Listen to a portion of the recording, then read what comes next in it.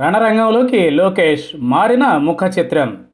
చంద్రబాబు నాయుడిని గత తెలుగుదేశం ప్రభుత్వాన్ని లక్ష్యంగా చేసుకుంటూ నిర్ణయాలు విమర్శలు గుప్పిస్తున్న వైసీపీని అడ్డుకునేంత సాహసం టీడీపీ చేయలేకపోతోంది. వైసీపీకి లభించిన భారీ మెజారిటీ ఒక కారణం. కొత్త ప్రభుత్వం తీసుకుంటున్న చర్యలకు ప్రజల్లో లభిస్తున్న మద్దతు మరొక కారణం. గతంలో తీసుకున్న నిర్ణయాల్లో లోపాలు అవకతవకల కారణంగా తీవ్రంగా ప్రతి విమర్శలు చేయడం సాధ్యం కావడం లేదు. ఫలితంగా గత ప్రభుత్వ విధానాలపై ముఖ్యమంత్రి జగన్ సహా మంత్రులు పార్లమెంటు సభ్యులు తీవ్రంగా ధ్వజమెత్తుతున్నారు. కానీ టీడీపీ నుంచి ప్రతిఘటన పేలవంగా కనిపిస్తోంది. ఈ పరిస్థితుల్లో మాజీ ముఖ్యమంత్రి చంద్రబాబు నాయుడు కుమారుడు నారా లోకేష్ స్వయంగా రంగంలోకి దిగారు. ఆనాటి ప్రభుత్వ విధానాలను వెనకేసుకొస్తూ తండ్రికి రక్షగా ట్విట్టర్ వార్ ప్రారంభించారు. దీనిపై వైసీపీ ఏ విధంగా స్పందిస్తుంది? లోకేష్ ఇచ్చిన సంకేతాలను అందిపుచ్చుకుని తెలుగుదేశం నేతలు ఇప్పటికైనా ఎదురుదాడికి దిగుతారా? వేచి చూడాలి. అయితే నారా లోకేష్ పూనిక వహించడంతో రాష్ట్ర రాజకీయ ముఖ చిత్రం క్రమేపీ వేడెక్కుతోంది. విద్యుత్ కొనుగోలు ఒప్పందాల్లో భారీగా అవినీతి జరిగిందని ముఖ్యమంత్రి జగన్ విశ్వసిస్తున్నారు. అందుకే దానిపై విచారణ జరిపి బాధ్యులపై చర్యలు తీసుకుంటూ డబ్బులు రికవరీ చేయాలని ఆదేశించారు. రెండు వేల ఆరు వందల కోట్ల పైచిలకు ఈ రకంగా పక్కదారి పట్టిందనేది వైసీపీ అభియోగం. దీనిపై తొలిసారిగా పక్కా వివరాలతో ప్రతిస్పందించారు. నారా లోకేష్ వైఎస్ఆర్ హయాంలో సోలార్ విద్యుత్ యూనిట్ పద్నాలుగు రూపాయలకి కొన్నారు. టీడీపీ హయాంలో సోలార్ విద్యుత్ యూనిట్ రెండు రూపాయల డెబ్బై పైసలకి కొన్నామంటూ లోకేష్ లెక్కలు తీశారు. దీనిని బట్టి ఎవరు మహామేత ఎవరో దార్శిక నేత తేల్చాలంటూ ప్రశ్నాస్త్రం సంధించారు.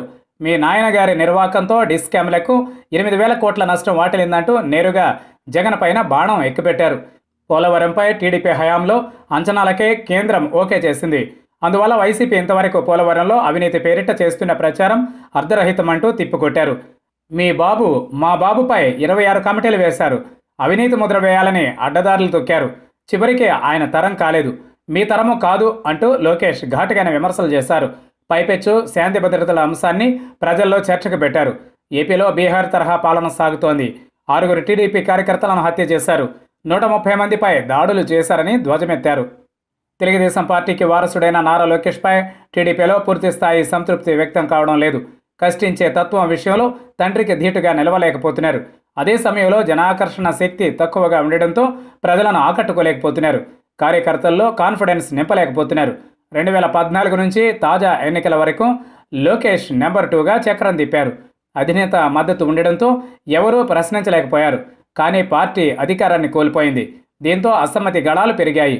పార్టీ ఓటమికి నారా లోకేష్ కూడా ఒక కారణమని ఒక వర్గం వాదిస్తోంది. దాంతోపాటు చంద్రబాబు నాయుడు కాలంలో టీడీపీ నేతలే ఇప్పటికీ పార్టీలో జిల్లాలలో పెత్తనం చేస్తున్నారు. కొత్త తరం నాయకులకు తగిన ప్రాధాన్యం లభించడం లేదు. దాని నుంచి బయటపడి న్యూ జనరేషన్తో కనెక్ట్ కావాల్సి ఉంది.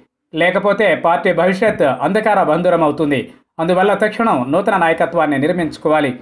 అది కూడా లోకేష్ నాయకత్వంలో కాకుండా బీసీ లీడర్షిప్ను పైకి తీసుకురావాలనే డిమాండ్లు వినవస్తున్నాయి.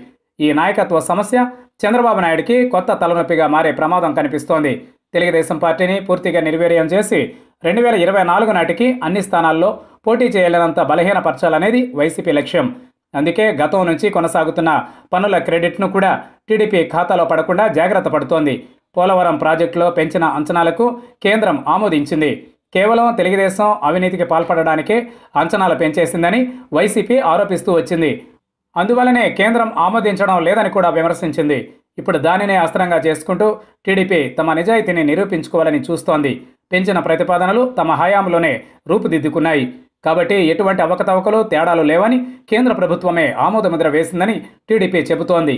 కొత్త ప్రభుత్వం అధికారంలోకి వచ్చిన తరువాత ముఖ్యమంత్రి జగన్ విజ్ఞప్తి మేరకే దీనిని ప్రధాని మోదీ ఆమోదించారని విజయసాయిరెడ్డి వాదన.